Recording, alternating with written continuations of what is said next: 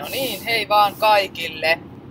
Ajattelin tästä extemporeen nykyään, kun teen aika lailla nyt vaan fiiliksen pohjalta näin äitiyslomalla näitä videoita ja kaikkea muutakin, niin tässä automatkalla ajattelin, että olisi ihan kiva tehdä tällainen video nyt sitten ja pohtia jotain tiettyjä asioita, höpötellä tässä jotain vähän itekseen. Eli ollaan matkalla nyt Kokkolaan.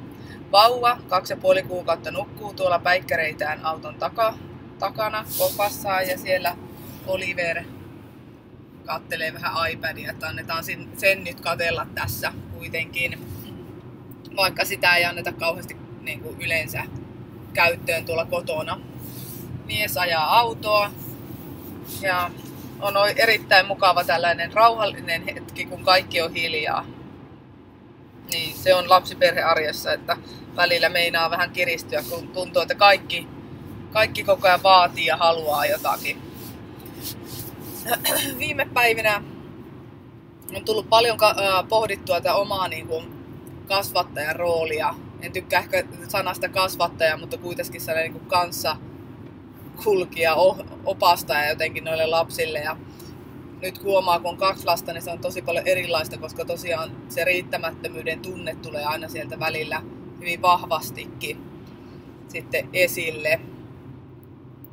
Ja totta kai siinä samalla käy sitä omaa lapsutta ja minkälaista kasvatusta itse on saanut, niin aika vahvasti myöskin läpi, läpi, että se on aika isossa roolissa ainakin itsellä tällä hetkellä, että miettii niitä ehkä hyviä juttuja, mitä sieltä omasta lapsuudesta on saanut kokea kasvatuksellisesti. Ja sittenhän siellä on aika paljon myöskin niitä juttuja, mistä, mitä ei ainakaan halua, tai virheitä, mitä ei halua niin vanhempiensa virheitä toistaa omille lapsille. Mutta tässä äitiydessähän on, joka, niin, niin, eihän tässä nyt virheiltä voi välttyä. Sen on nyt itse niin huomannut. Tulee ylilyöntiä aina välillä, Ermo menee, mutta kuitenkin kun pysyy tietoisena niin, niin niitä pystyy välttää, koen sen niin.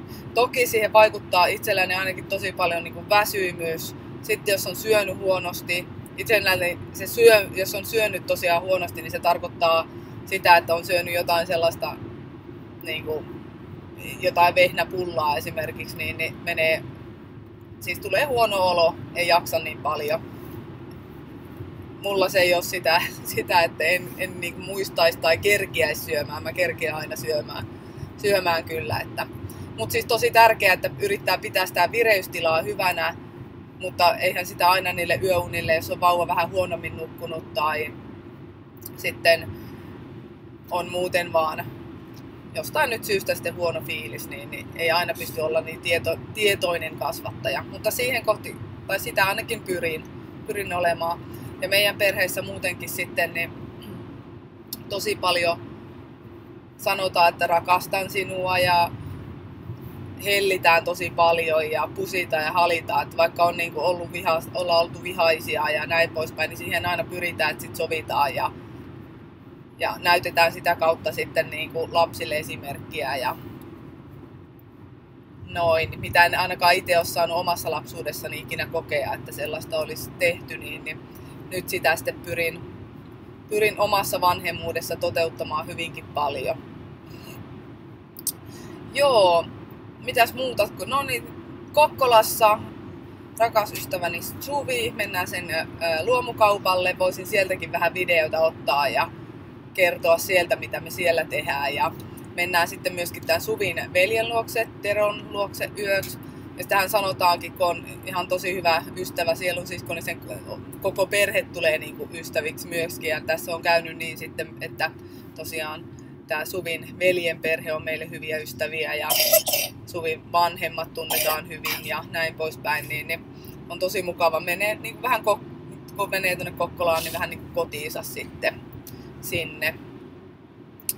Ja tota, siellä vietetään vähän vappua lasten ehdoilla käydään saunassa, järvessä ehkä pulahtamassa ja muutenkin syödään hyvin, ehkä juon viinilasillisen tai otan saunakaljan, en tiedä vielä.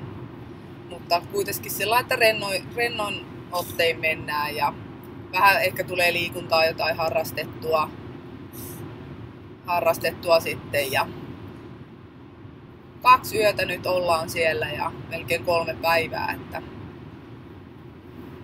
hauskaa, hauskaa siis tiedossa. Mutta mulla on ollut sellainen tarkoitus tosiaan, että mä teen näitä V-blogauksia nyt enemmän. Tykkään kyllä puhua. Ja, ja tässä taas se, että samat kuin siinä mun blogin kirjoittamisessa, niin mä haluan niin kuin kehittyä tässä niin kuin kirjoittajana ja nyt myös niin kuin puhuja, puhujana. Niin sen takia mä teen näitä. Nyt ollaan Alajärvellä mun kotikaupungin kohdalla. Mennään tuolta kanavan kevarista sitten ohi ja Lappajärven kautta. En tiedä mennäänkö sitten Evijärvelle mennään. Tuolta tulee auto.